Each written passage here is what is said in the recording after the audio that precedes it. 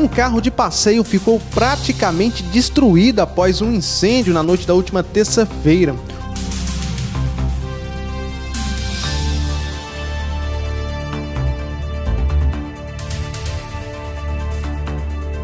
O fato aconteceu na Avenida Ceará, na cidade de Gurupi, por volta das 10 horas da noite.